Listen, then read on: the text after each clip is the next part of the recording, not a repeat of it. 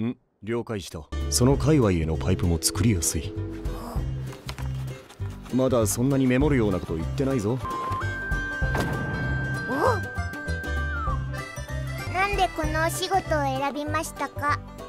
選択の理由？うん。次男に「お前はバカだから風邪ひかない」って言われた。そうか。うん仲良くしろ。医者という立場からアプローチできないかと考えてのものだが固く決意したのは大学の時。よろろすお願いするます。かわいよかったな。職場での父はどんなやつですか？いそりゃもうかっこいいわよ。情報やコネを得やすくなるし何よりスパイにとっては。え？あの人が？あの人が。お前医者は魔法使いじゃないからな。他人の心が読めるわけじゃない